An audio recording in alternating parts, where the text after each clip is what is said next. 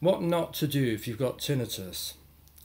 The first thing is fear. If you stew in fear, you're going to keep your cascade of stress hormones going, which is what's going to keep your hearing stuck in that activated, alerted state, which keeps tinnitus going in the first place. So, if you go online and you look at fearful stories, or if you believe practitioners who are telling you there's nothing you can do, then this is likely to keep you stuck in a fearful loop where your adrenaline levels are up, so you hear the tinnitus, and hearing the tinnitus, you freak out, and freaking out makes you more sensitive, and then you get stuck in this loop of reactivity.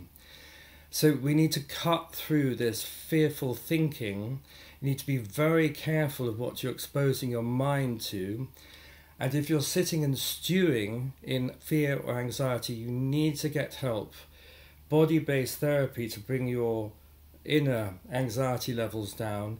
And I really encourage you to learn about tinnitus and to find out how it works because once you get your head around it, then it's much less threatening. It is primarily a stress response in the auditory system. Even if it's loud no- noise exposure, loud nose exposure, even if it's um, due to surgery, it doesn't matter what the cause is of tinnitus, you can still let go of tinnitus, but what keeps it afloat is primarily fear and anxiety and stress. The other things that really cause your adrenals to stay high and to stay in a high state of reactivity is tiredness, exhaustion. When we are overdoing things and we get a bit burnt out, we end up running on adrenaline and become very driven, over accelerated, and that whole hyper state is very good for keeping tinnitus afloat. So overstimulation and excitement. You know, some people really like turning life up loud and burning the candle at both ends and drinking and partying and skiing 10 hours a day and going bananas. I mean, this is going to be extremely arousing and overstimulating for your nervous system, which in turn keeps you stuck in that red alert state, that hypersensitized state, which keeps tinnitus going and that includes too much change, um, changing country, changing jobs, changing house, changing relationships. You know, we we all really quite like routine and feeling a sense of well-being and safety um, involves having our life in a place where we can just settle into an everyday kind of rhythm.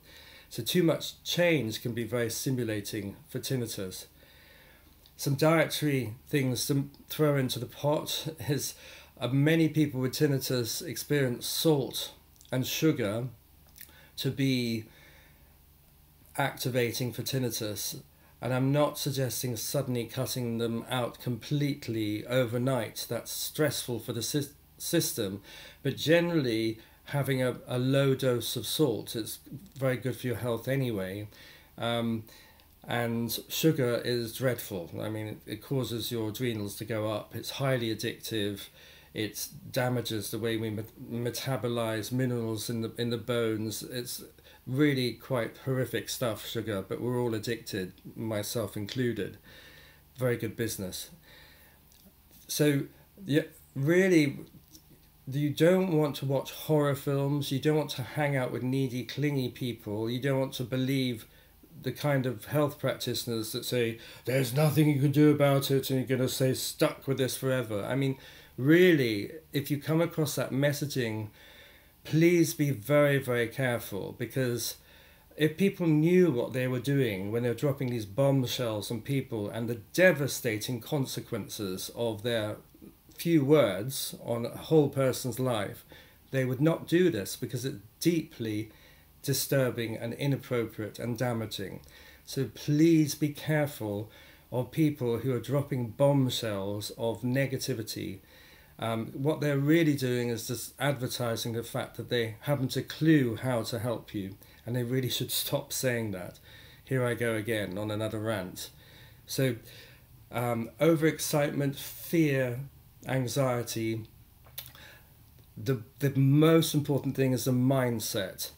You can change masses of things in people. I'm a therapist, a psychotherapist, but the hardest things to change are mindsets they're like the, the great Himalayan mountains when you try and change people's mindsets.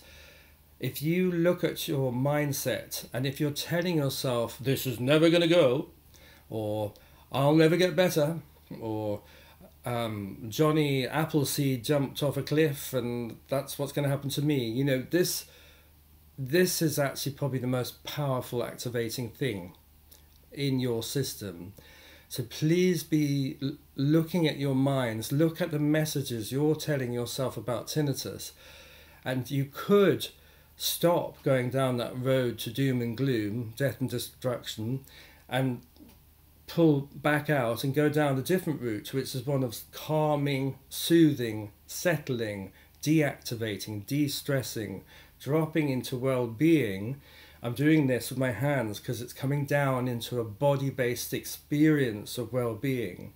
You feel it in your body. I'm not talking about an idea here. This is experiencing calm, peace, safety inside the body. The more this happens, the more the alarm bells stop ringing, literally.